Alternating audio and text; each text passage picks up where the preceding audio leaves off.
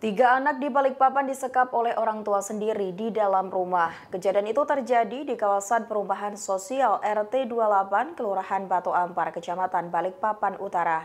Korban berusia 6, 10, dan 14 tahun ditemukan lemas pada Kamis 23 Juni 2022.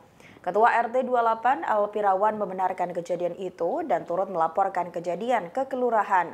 Benar saja saat didatangi petugas dan warga, rumah tersebut dalam kondisi terkunci dari luar. Kondisi kamar pun sangat tidak layak, yakni ruangan yang sempit serta sirkulasi udara yang minim, membuat ruangan itu tak lebih baik dari ruang tahanan.